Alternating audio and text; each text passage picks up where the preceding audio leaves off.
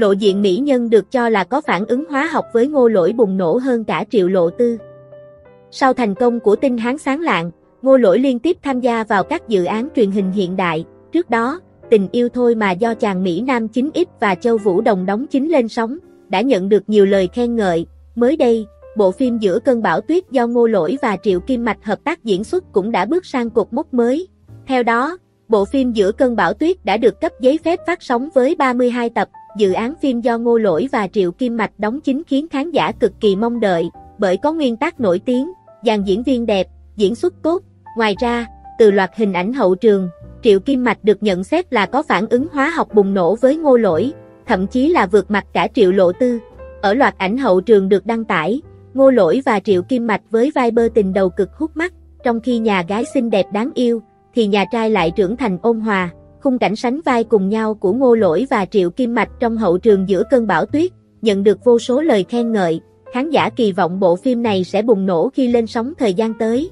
Trước Triệu Kim Mạch, Ngô Lỗi và Triệu Lộ Tư là cặp đôi chính ít gây sốt màn ảnh nhỏ khi hợp tác trong tinh hán sáng lạng, phản ứng hóa học tràn màn hình, ngoại hình đẹp đôi, đã giúp cả hai nhận được vô số lời khen ngợi, thậm chí là được đẩy thuyền ở ngoài đời. Tuy nhiên, hiện tại nhiều khán giả lại cho rằng, Triệu Kim Mạch có phản ứng hóa học với ngô lỗi tốt hơn Triệu Lộ Tư, khi đóng chung ở giữa cơn bão tuyết, liệu ngô lỗi có thể lần nữa tạo thành tích khủng với giữa cơn bão tuyết khi hợp tác cùng Triệu Kim Mạch hay không, vẫn còn là ẩn số lớn. Vai diễn cũ của Triệu Lệ Dĩnh được khen nức nở, vậy mới biết mắt chọn phim đỉnh thế nào. Suốt gần một năm qua, Triệu Lệ Dĩnh không có phim mới lên sóng, bởi vậy, nhiều khán giả yêu mến cô chỉ còn biết xem lại loạt phim cũ do Triệu Lệ Dĩnh đóng chính. Ngoài Minh Lan truyện trở thành bộ phim giờ ăn cơm của nhiều gia đình, thì một bộ phim khác của Triệu Lệ Dĩnh nhận sự ưu ái trong thời gian gần đây là Lục Trinh Truyền Kỳ. Lục Trinh Truyền Kỳ chính là bộ phim cổ trang đầu tiên mà Triệu Lệ Dĩnh đảm nhiệm vai nữ chính. Trong Lục Trinh Truyền Kỳ, Triệu Lệ Dĩnh vào vai nữ chính Lục Trinh, cô đã không làm khán giả thất vọng khi hóa thân xuất sắc vào vai nữ tể tướng duy nhất của Trung Quốc, một nhân vật có cuộc đời nhiều gian truân, nhưng nhờ sự kiên trì và trí tuệ, đã giúp bà trở thành người phụ nữ quyền lực hiếm hoi ở thời phong kiến. Nhiều lời thoại của Lục Trinh, đặc biệt với nam chính cao trạm khiến khán giả thích thú, với sự độc lập mạnh mẽ, tư tưởng tiến bộ của nữ chính, điều không phải nhân vật nào trong nhiều bộ phim ở thời điểm hiện tại có thể làm được. Đối với Lục Trinh, tình yêu không phải điều tồn tại duy nhất, dù người yêu có địa vị cao hơn cũng không khiến cô tự ti, hạ thấp bản thân, hay nhất nhất nghe lời, dựa dẫm vào đàn ông, một số bình luận của khán giả. Tư tưởng của Lục Trinh đi trước tôi 10 năm, xem phim chỉ quan tâm Lục Trinh đã thăng tới chức quan nào, mỗi lần cao trạm ra ngoài đánh trận, Lục Trinh đều được thăng quan. Lúc đó xem phim chỉ nghĩ tại sao nam nữ chính hay cãi nhau đến vậy, hóa ra vấn đề nằm ở cao trạm. Nữ chính phim khác sau khi nam chính chết đều đau khổ buồn bã, thậm chí chết theo, riêng Lục Trinh vẫn dốc lòng chăm lo Giang Sơn xã tắc. Có thể thấy, Triệu Lệ Dĩnh rất tinh mắt trong việc chọn kịch bản và vai diễn, cô từng đóng nhiều vai nữ chính với những thiết lập nhân vật khác biệt, nhưng chưa từng bị chỉ trích vì tư tưởng sai trái của nhân vật. Từ Lục Trinh thông minh, độc lập, cho tới sở kiều mạnh mẽ, kiên cường, Sam Sam và Hoa Thiên Cốt lương thiện, cầu tiến, hay Minh Lan, bán hạ, đều là những nữ chính có tam quan ngay thẳng, tính cách nhiều điểm đáng để học hỏi. Khán giả cho rằng, đây là một trong những yếu tố chính làm nên sự thành công của Triệu Lệ Dĩnh trong suốt những năm qua. Top 10 phim hoa ngữ xem mãi không chán, Triệu Lệ Dĩnh và Dương Tử bỏ lỡ ngôi đầu, Trần Tình lệnh tranh cãi. Chạy theo xu thế, những bộ phim hoa ngữ sản xuất hiện nay được đánh giá không còn chất lượng như xưa, lượng phim ra mắt mỗi năm nhiều không đếm xuể, nhưng số tác phẩm thực sự hay, để lại ấn tượng đậm sâu trong lòng khán giả, xem đi xem lại nhiều lần vẫn chưa chán chỉ đếm trên đầu ngón tay. Cư dân mạng trên Weibo vừa qua, đã cùng nhau tổ chức một cuộc bình chọn, những tác phẩm hoa ngữ xem đi xem lại không biết chán. Kết quả được hé lộ sau đây có lẽ sẽ làm kha khá khán giả cảm thấy kinh ngạc. Bộ phim giành được số phiếu bầu cao nhất là một dự án đam cải, Trần Tình lệnh do Vương Nhất Bác và Tiêu Chiến đóng chính. Đây cũng là tác phẩm ăn khách bậc nhất, cấp độ hiện tượng của màn ảnh hoa ngữ năm 2019 giúp cúp bộ bác quân nhất tiêu trở thành những ngôi sao lưu lượng hàng đầu trong giới.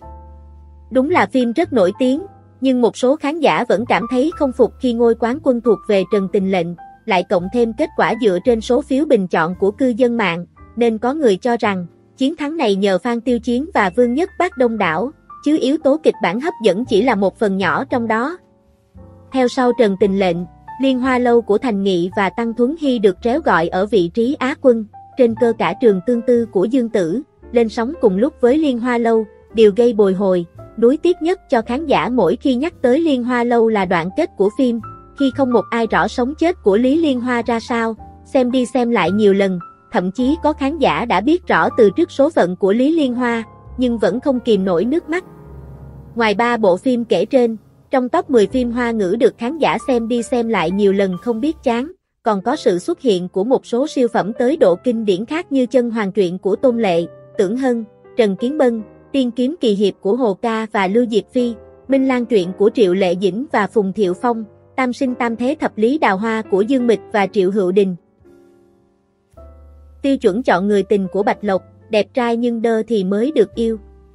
Sở hữu loạt tác phẩm gây được tiếng vang, lại có ngoại hình xinh xắn, không lạ khi Bạch Lộc trở thành một trong những diễn viên trẻ được chú ý bậc nhất hiện nay. Bên cạnh đó, có thể dễ dàng nhận thấy Bạch Lộc thường xuyên có cơ hội đóng cặp với những nam thần điển trai của Cbiz. Thông qua hai nam thần đang sánh đôi bên cạnh Bạch Lộc, khán giả có thể thấy được những đặc điểm chung trong tiêu chuẩn lựa chọn bạn diễn của cô nàng. Đặc điểm chung đó chính là các nam thần này đều đẹp trai, nhưng lại có khả năng diễn xuất còn nhiều hạn chế, là nam thần đóng cặp cùng Bạch Lộc trong bộ phim cổ trang đang lên sóng Ninh An Như Mộng, lại từng không ít lần vướng tin đồn phim giả tình thật với mỹ nhân này. Trương Lăng Hách lại phải đón nhận không ít những tranh cãi về diễn xuất trong khoảng thời gian gần đây. Ngay lúc này, diễn xuất của Trương Lăng Hách trong Ninh An Như Mộng đang là chủ đề thu hút nhiều sự quan tâm trên các nền tảng mạng xã hội. Đáng chú ý, không ít người bày tỏ quan điểm rằng, họ đã vỡ mộng vì tạ nguy trên màn ảnh hiện lên không giống với tưởng tượng. Trương Lăng Hách bị đánh giá là chưa thực sự hiểu nhân vật, có người còn nói anh chàng cần học hỏi thêm cách diễn của các bậc tiền bối, thậm chí, trong một vài phân cảnh cần thể hiện phong thái uy nghiêm, thâm hiểm, Trương Lăng Hách còn khiến người xem không khỏi khó chịu, vì mặt cứ đơ cứng đến độ thiếu tự nhiên. Người tình còn lại của Bạch Lộc trong thời điểm này là Vương Hạc Đệ cũng không hề khá khẩm hơn, màn hóa thân thành tổng tài cao cao tại thượng của nam thần họ Vương trong dĩ ái vi doanh, đã khiến khán giả phải lắc đầu ngao ngán vì quá dầu mỡ và nửa vời. Truyền thông Trung Quốc đánh giá, giọng gốc của Vương Hạc Đệ tạo cảm giác dễ thương như trẻ con, không hề ra khí chất của một tổng tài. Bên cạnh đó, ngay cả với thiết lập nhân vật, biểu cảm của Vương Hạc Đệ cũng không hề tỏ ra chất của một tổng tài. Nhiều khán giả bình luận cho rằng, biểu cảm của Vương Hạc Đệ khi tỏ ra lạnh lùng trông cứ như trẻ con hờn dỗi, với một số biểu cảm như biểu môi, liếc mắt đúng chất, làm màu, thậm chí với diễn xuất gây ngán của mình, Vương Hạc Đệ còn bị truyền thông gọi là truyền nhân của Trương Hàn vì quá dầu mỡ. Mỹ Nam có tài biến mọi bạn diễn nữ thành em bé nhờ chiều cao khủng, còn nên duyên với người trong mộng đã lâu.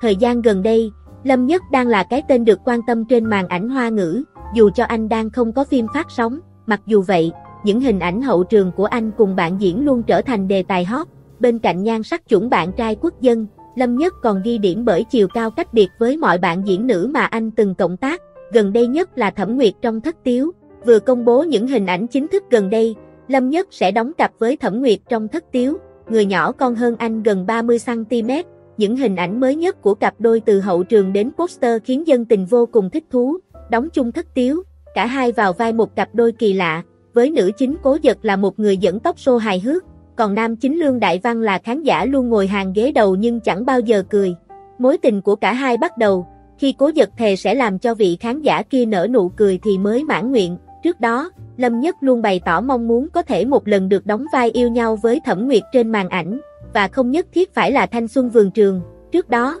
cả hai đã tham gia chung phim điện ảnh Người bạn một tuần, nhưng chỉ vào vai bạn học, giờ đây, có thể nói Lâm Nhất đã được toại nguyện như ý mình. Đây cũng không phải lần đầu tiên Lâm Nhất kết hợp với một bạn diễn nhỏ bé, đáng yêu trên màn ảnh, sở hữu chiều cao khủng gần 1m9, Lâm Nhất khiến bất kỳ mỹ nhân nào cũng trông như em bé khi ở cạnh anh chàng. Nhiều mỹ nhân màn ảnh như Hình Phi, Triệu Kim Mạch, Trần Ngọc Kỳ, Triệu Lộ Tư, và nay là Thẩm Nguyệt đều lọt thỏm trong lòng của nam diễn viên cao to sinh năm 1999. Mặc dù vậy trong thời gian tới, Lâm Nhất sẽ đối mặt với thử thách lớn nhất sự nghiệp của mình, đàn chị Lưu Diệt Phi, đóng dự án khủng câu chuyện Hoa Hồng, và là một trong những nam nhân đi qua cuộc đời nữ chính. Lâm Nhất chắc chắn sẽ có nhiều khoảnh khắc ngọt ngào, mới lạ với đàn chị hơn mình 12 tuổi.